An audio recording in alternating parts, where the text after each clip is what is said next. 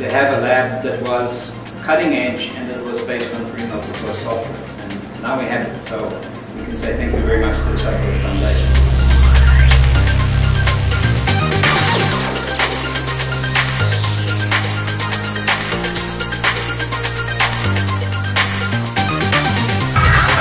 To um software, free software, open software helps us in fact to take another leap.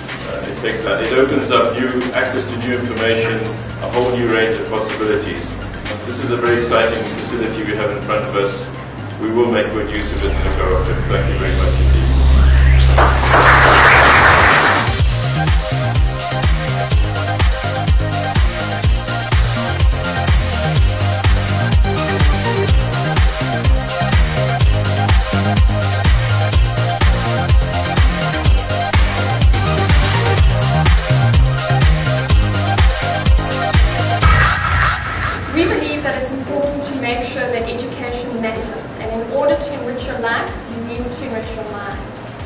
Open source, we believe, offers the most sustainable and cost-effective technology option for education institutions. To increase the access of educators and learners to information and to knowledge. Not only is it cost-effective, but we also think it allows others to contribute, to adapt and to grow not only the content, but also the tools that people. From the Shuttleworth Foundation side, I would specifically like to thank Professor Brian O'Connell and Professor Tapscott for their support and funding of the project. Um, Professor Keats for seizing the opportunity and taking it forward um, along with his contributions um, to the advancement of open source not only at the university but in South Africa. And the two teams in information and communications sciences that worked hard to establish the lab um, and that's the projects office and the student computer lab team. I'd also like to thank Karien Bezuidenhout from the foundation who managed the project for us. Um, the lab looks fantastic and you've all done a great job. Thank you very much.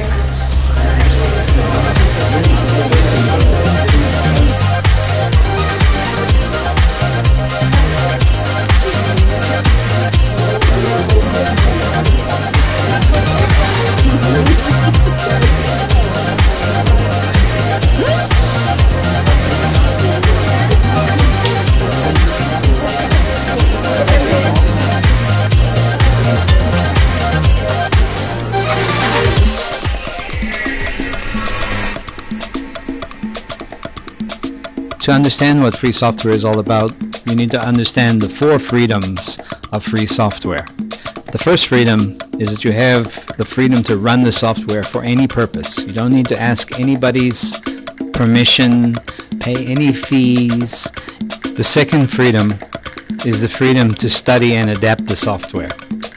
And this requires the source code, of course, and that's what gives rise to the name open source, which is sometimes used.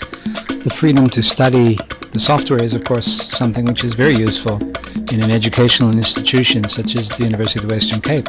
It means that the output of some of the best software development minds in the world is available for them to study and to learn from. And they're able to take what they learn and use it to adapt the software to new purposes. The third freedom, or freedom two, is the freedom to redistribute copies of the software.